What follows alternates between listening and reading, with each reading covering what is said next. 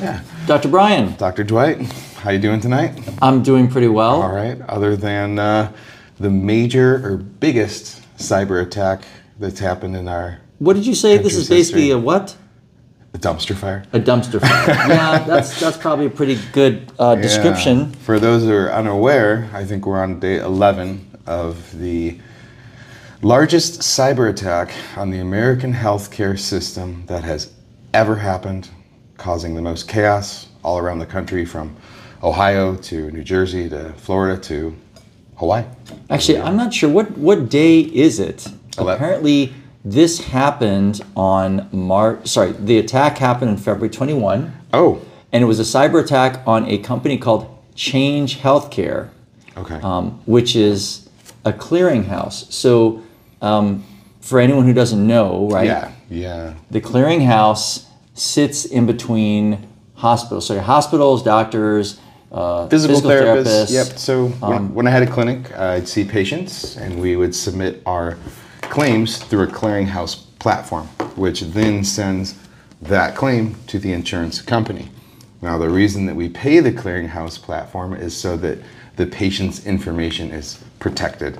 They propose it as a airtight system, so none of the patient's data can get leaked. So, you know all that paperwork you sign. You go to see the dentist, Yeah. the doctor, the optician. You have to sign that stack of papers. That's basically the assurance of the provider to you that they're not going to share, disclose. It's guaranteeing your, the privacy of your information there. Right. And so that clearinghouse that sits in between doctors and hospitals from getting paid from these insurance companies, um, that is supposed to be a infallible of course nothing is infallible but the idea is that they are making money because they are saying we are going to safeguard this information so it doesn't get into the wrong hands and of course However, with the cyber attack it's gotten into the wrong hands and I believe Change Healthcare, which is is it United Healthcare owns Change? Yeah. So according to this article by the Washington Post, Change Healthcare, um, which processes over 1.5 trillion dollars a year in healthcare charges, Yeah. and is the largest clearinghouse in the country.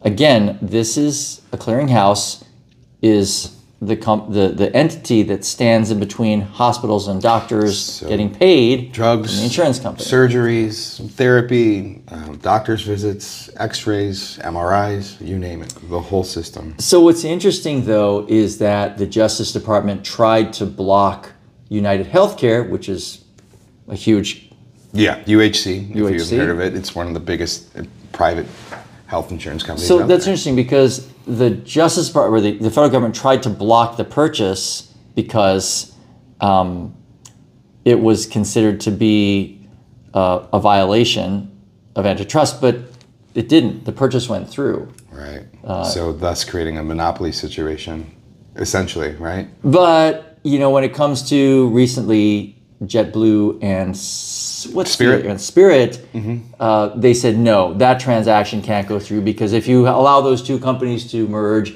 that's too much of a What's ironic though is it's such a small industry compared to healthcare. yeah. And the healthcare mean, affects so many people. How many claims a year was it that Optum is processing? They, according to this article, it says that this clearinghouse processes 15 billion claims. Each claim is Yeah. an encounter with a healthcare Right, provider. and from what we're aware of, it's maybe one in three patients' data has been breached. Uh, uh, well, according to the article, they're saying it's approximately 50% Oh my of all the claims in the US. It's And- worse than I thought. Yeah. Okay. So, Yeah.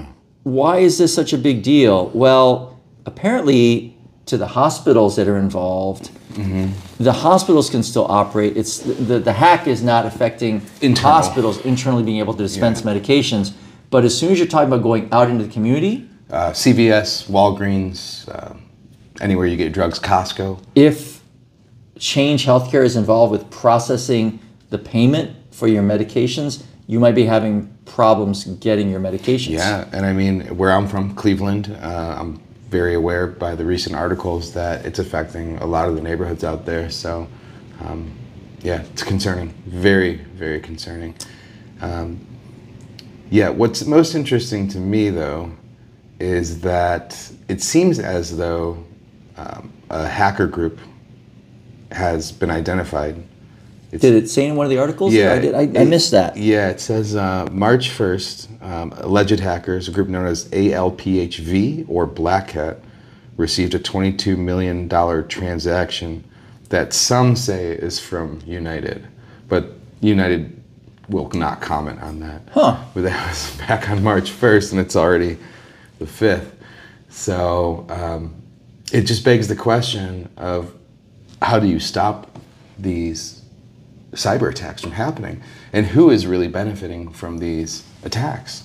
Well, where's the money, right? Where we got to follow the money. yeah, and again, right? If if it's the clearinghouse that usually is is like the go-between between hospitals, clinicians getting paid, and the insurance company, which is holding on to the money, um, ultimately there's a there's a block in that payment, and ostensibly that's inconvenient for the doctors, but when it's affecting a hospital system, Yeah, that's, I mean, a, that's a big problem. Yeah, there's art. We can reference articles all day, but there are clinics, private practices. I believe you mentioned in New Jersey, where uh, the guy's going back to paper charting, and it's just inconceivable.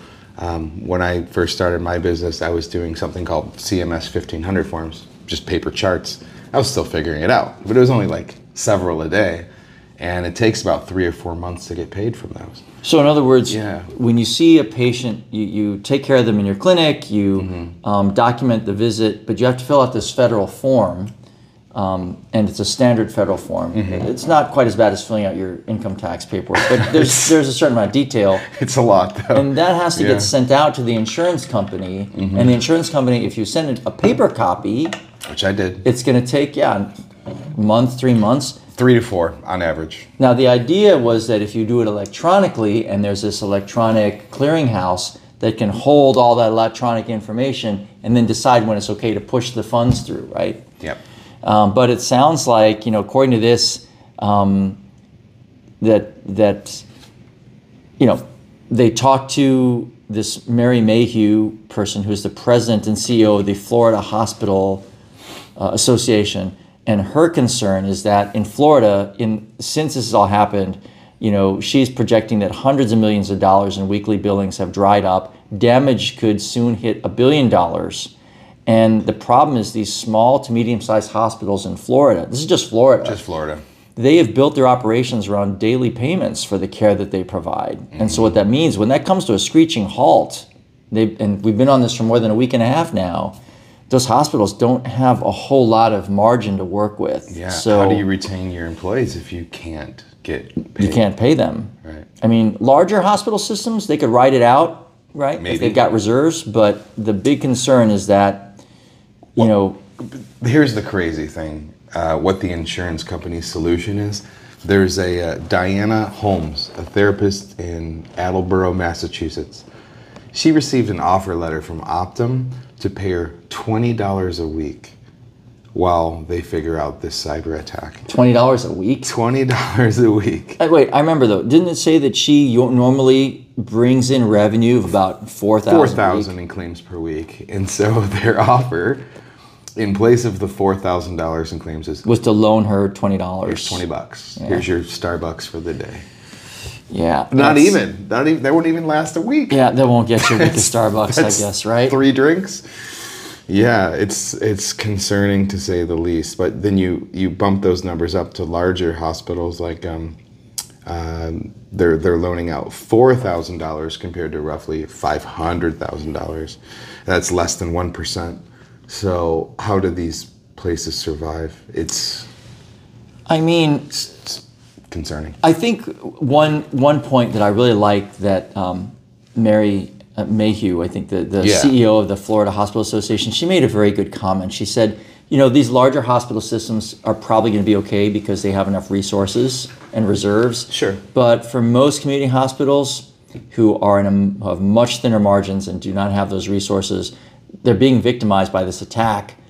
And ultimately, it's because of an attack on a company that created its own vulnerabilities because of its marketplace dominance. In other words, it is this behemoth Monster. that created it's, it's an easy target. Yeah. And the problem is when you have a big easy target like that, when it gets hit, everything comes to a screeching halt. So the problem is again, as she's saying, it's these small medium sized hospitals who Private are, going to be in a disastrous situation. Yeah, and I feel bad for those individuals. I mean, having been there myself, I couldn't imagine if I still had my clinic. What I'd I be thinking?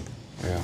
Yeah, this is this is definitely going to make it harder for the uh, the the the few private practices that are around. I mean, yeah. But even more so, the future of healthcare. Like, where does this take us?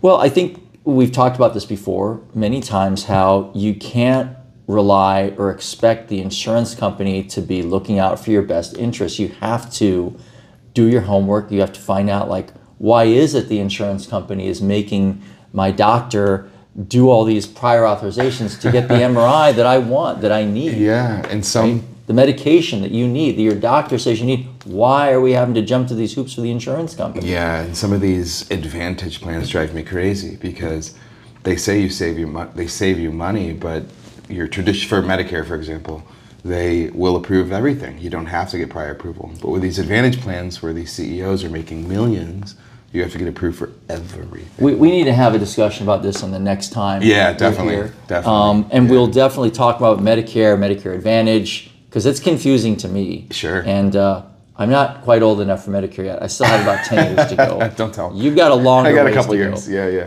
But it does mean we can't try and understand Or help you understand, We're all getting closer to it, and Or um, have parents and family who are there. yeah, that's a that's a really good point. Yeah, because I always try to help my family out with the questions, and you know, it's amazing what I've learned over the years. So, Yeah, that's not a it's not a straightforward situation. no, very confusing, very gray. So, but the big question is, is why are these CEOs making millions while, you know, The healthcare system is what it is. going down and down? Patients are paying more and more.